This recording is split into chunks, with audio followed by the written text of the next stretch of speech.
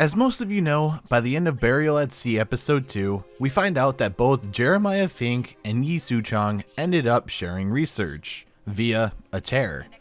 On Fink's end, he received a blueprint for a type of Big Daddy. After multiple experiments were conducted to perfect the Songbird, or in this case, Elizabeth's protector, a final version was finalized. Just like Songbird's counterparts in Rapture, Songbird was a terrifying combination between a human and a machine. To this day, however, we still don't know who Fink drafted to be the unlucky participant in becoming Songbird. As mentioned earlier, a multitude of experiments were conducted, mainly on animals such as gorillas and dogs, which you can see within the tower on Monument Island and Fink's personal research laboratory. Like a little sister to a big daddy, Fink was desperately trying to figure out the formula to create a pair bond between Elizabeth and Songbird. Initial tests failed one after another. Eventually, by what seemed like an absolute miracle, a freak accident occurred where Songbird crashed through Elizabeth's tower after breaking out of Fink's research lab, resulting in his breathing apparatus coming off. At this time, Elizabeth was only a little girl, so she wanted to do whatever she could to save him. She ended up putting his breathing device back together, thus causing a successful pair bond between the two. This definitely wasn't the way Fink envisioned the pair bond would happen, but I'm sure he was thrilled that his work finally paid off. Also, remember earlier how I mentioned that Fink and Suchong worked together through a tear? Well, Fink came to him with his research and his successful pair bond experiment. However, with Suchong being as egotistical as he is, he believed that it was his theory that was correct. He believed that a hair sample, which happened to be Elizabeth's, was the true cause of the pair bond. Suchong attempted to prove his theory over and over on different Big Daddy models with absolute failure every time. With Bioshock Infinite's idea of constants and variables, we can consider Songbird the Big Daddy of Columbia, although you could potentially make the argument that the Handyman could be as well. With the work shared between Fink and Suchong, Songbird was essentially modeled almost entirely of components that made up a Big Daddy. For example, Songbird's eyes would change colors to indicate the mood he was currently in, whether it was calmness or violence. Also, just like a Big Daddy, Songbird had incredible strength, speed, and his enormous size to absolutely decimate anyone who dared to harm him or Elizabeth. And to make Songbird even more terrifying, he was equipped with metal talons to his feet and knuckles, which looked like claws, and could also rip through buildings like they were made of paper. During the idea of coming up with a protector or even a caretaker for Elizabeth, Comstock had her essentially imprisoned within a tower on Monument Island when she was only a baby. While growing up in the tower, she had no contact with the outside world of Columbia, besides Songbird and occasionally Comstock and other scientists to observe her, which is extremely creepy. So, Elizabeth became close to Songbird, and he was technically her only friend for a long time. He brought gifts like toys, books, and food, furthering the friendship. This, of course, all changed as she entered her teen and young adult years. While she was a child, Songbird was her only friend.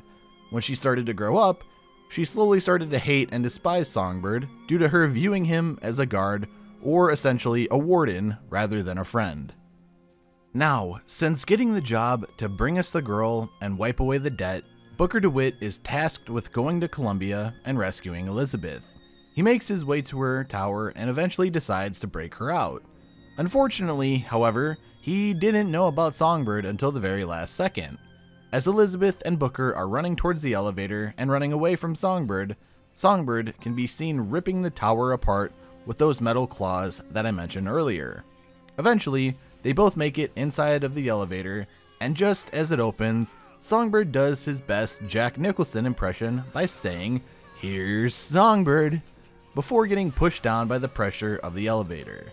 As Booker and Elizabeth reach the top of the tower, Songbird ends up knocking them both off.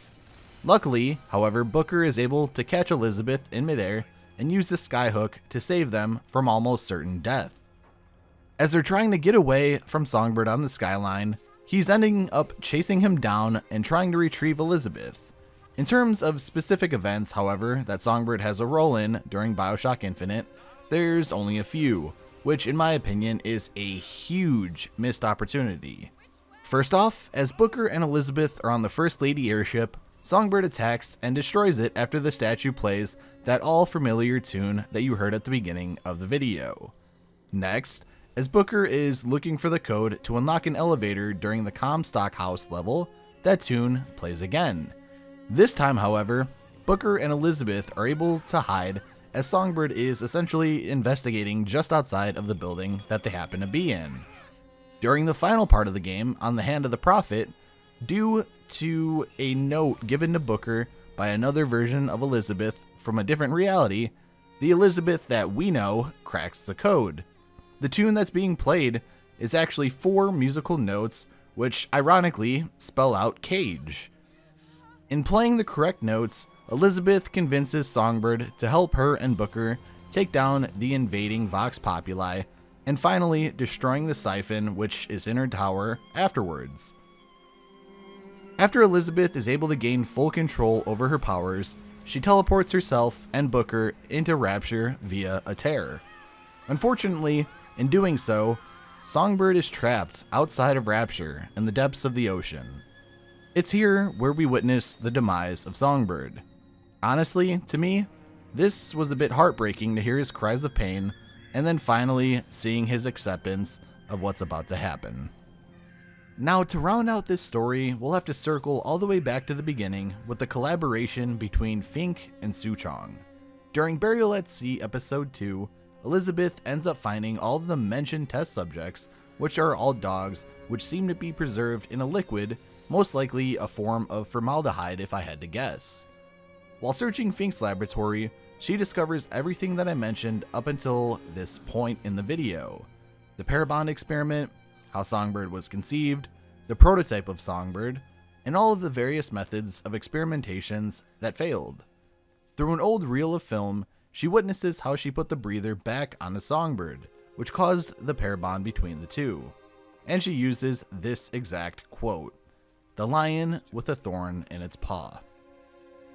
So, ladies and gentlemen, I really do hope you enjoyed the story of Songbird. If you did, a like rating would greatly be appreciated. If not, it's completely okay. If you happen to be new here or aren't subscribed yet, would you mind subscribing if you did enjoy the video? It helps me out and it also helps the channel grow. If not, again, it's completely okay. Other than that, if you'd like to be notified when a future video or live stream goes live, be sure to hit the bell icon next to the subscribe button and turn on all post notifications. This way, hopefully, you shouldn't miss any future content. If you'd like to talk to me outside of YouTube, my social medias are the best ways to do so.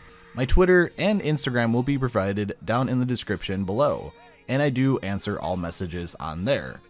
Also, if you'd like to see any additional content, feel free to check out my second channel, which will also be provided in the description below.